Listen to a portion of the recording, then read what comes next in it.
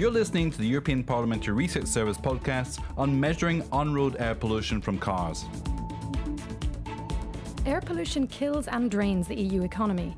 The European Commission wants to introduce tests that better reflect real on road emissions, but it is likely to run into serious opposition from MEPs who say the rules are too soft on car makers. Stay with us to find out more.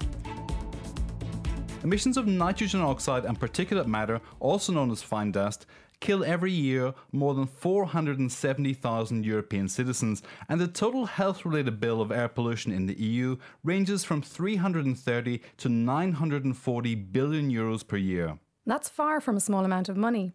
So, even if transport is just one of the many sources of air pollution, and even if emissions of air pollutants from transport have fallen steadily in recent decades, current levels are still too dangerous for our health and the environment.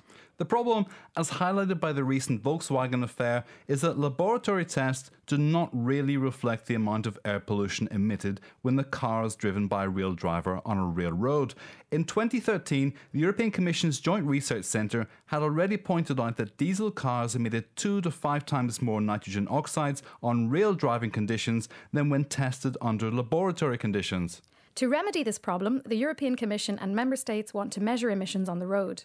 To reflect the fact that the new testing method is much more stringent than the one used until now, a correction factor would be introduced.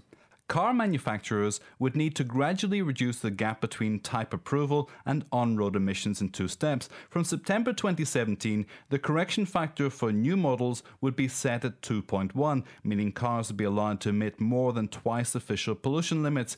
In a second phase, from 2020 onwards, the correction factor would be lowered to 1.5, meaning cars would be allowed to emit 50% more than the official limits. The European Parliament's Environment Committee has already rejected the EU's emissions testing deal, arguing it is too permissive. If this opinion is shared by the January 2016 plenary, the European Commission would have no choice but to draw up a new proposal.